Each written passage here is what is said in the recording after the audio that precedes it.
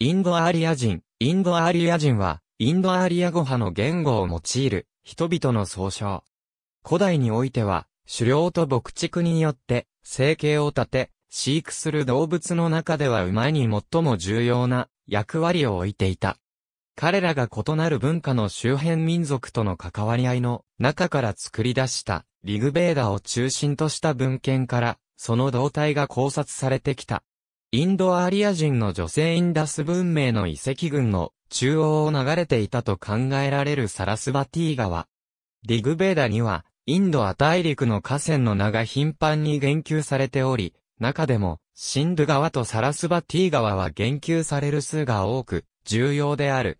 インドアリア人が勃興した地は、七つの川の地と呼ばれており、現在のアフガニスタン東部から、パンジャーブ、インドのウッタルプラデーシュ州西部であると推測されている。その交流に伴って、他の定住民との争いがあり、特にダーサ及びダスユとの争いが激しかったことが伺われる。ダーサは、主要部族とは異なる先にこの地に移住していた、アーリア人と考えられており、比較的穏便な対処がなされた。リグベーダには、シャンバラというものが、バラタ族のディボーダーサと争って敗れたことが述べられているが、バラタ族のものに、ダーサという名がついていたことが知られる。これに対して、ダスユは、徹底的に征伐する対象と考えられていたようで、ある。インドアリア人は、馬衛戦車を駆使し、青銅製の武器を使い、鎧を身にまとっていたため、戦闘においては強力で、様々な争いに打ち勝ったものと考えられている。このような勝利の栄光は、リグベーダにおいて、城塞の破壊者の異名を持つ、インドラ神が、アーリア人の敵に打ち勝つ、数々の物語に反映されているとされる。中央戦争の舞台となった語が地方、インドアーリア人は、いくつかの部族の集合体であり、時にはその部族同士が争うこともあったようである。リグベーダの部族のうち基本的には、パンチャジャナと呼ばれる5つの部族を中心にして分かれており、特にバラタ族とトリツ族が有力であった。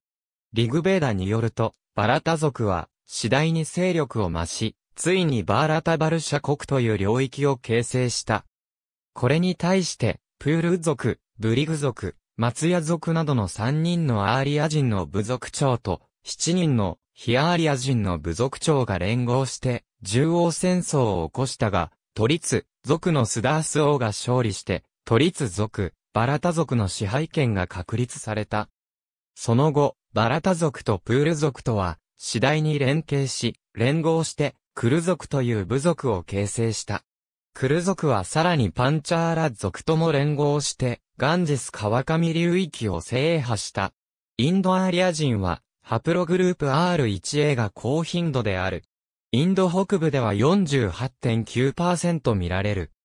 紀元前から、インド北部のカシュミール地方やネパールなどでは、チベット系、ベンガル地方とグジャラート州、ゴア州、マディアプラデーシュ州、アーンドラプラデーシュ州、カルナータカ州、テランガーナ州、タミルナード州なども含む南部のマラーター人とバングラデシュなどに分布するベンガル人はドラビダ人との根結が古くからある。また、スリランカのシンハラ人も該当される。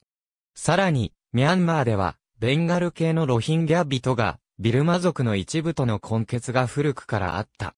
人種的には元来コーカソイドだが、古くから先住民オーストラロイドと混合している。パンチャは、五を意味する。